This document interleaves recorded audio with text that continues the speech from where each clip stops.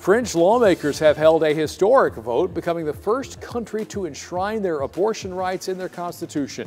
Parisians celebrating in the streets where people had been watching the vote on giant screens there. That effort coming in direct response to the United States Supreme Court's decision to overturn Roe v. Wade. That's your morning rush.